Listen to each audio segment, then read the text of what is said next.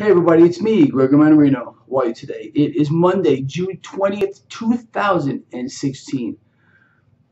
People, in this video, I am going to make some pretty outrageous uh, claims, but I believe you're going to understand that what I am saying may have a lot of truth to it. Uh, let's start off with this. As I am doing this video blog, there is some kind of an unnatural um, market rally around the world. Um, overnight, we saw stock futures go through the roof. Again, markets around the world are, are in full-blown uh, rally mode. Uh, and if you turn on the mainstream, they're going to tell you it has something to do with this whole uh, Brexit thing. Uh, the polls are about dead even. There's a lot of speculation that Brexit is not going to happen, and this is what's driving the markets. I don't even want to talk about this Brexit thing, um, but what I do want to talk about is this again, almost supernatural occurrence in the markets right now. The Dow Jones Industrial Average, as I am doing this video blog, is up over 200 points um,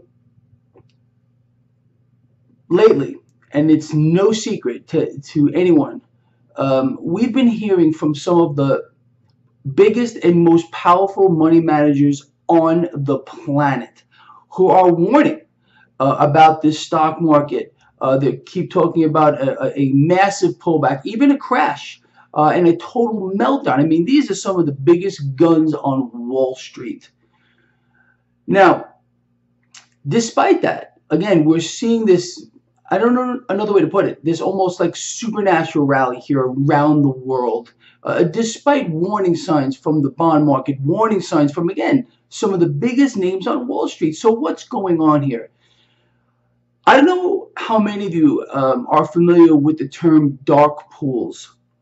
Um, just Google dark pools. I'll summarize what that is just real quick here. Um, these are private exchanges. Dark pools are private exchanges, meaning they're not um, available to the general public to trade on. These are mostly used by institutional in investors um, who, who, who want to hide what they're doing. Uh, again, there's no transparency here. This is what I believe is occurring right now. And again, just bear with me.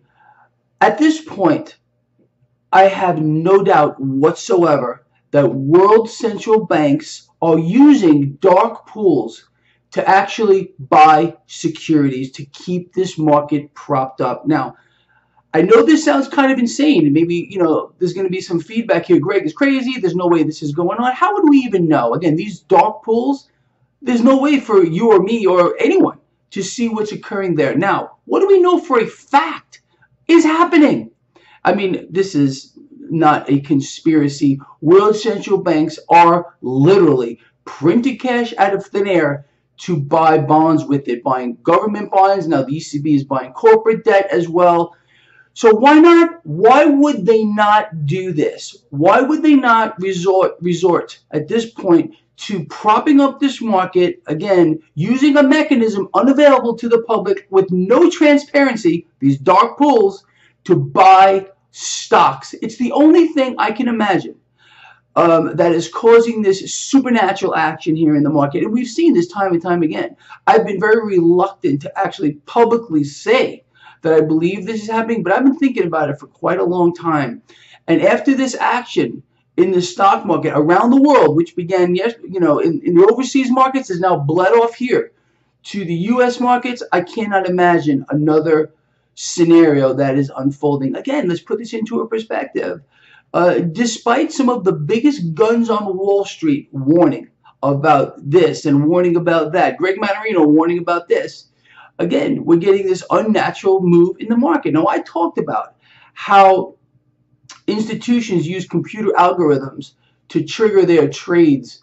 We started seeing this in the overnight futures markets. And again, it just seems so unnatural to me. And why do you believe these dark pools actually exist?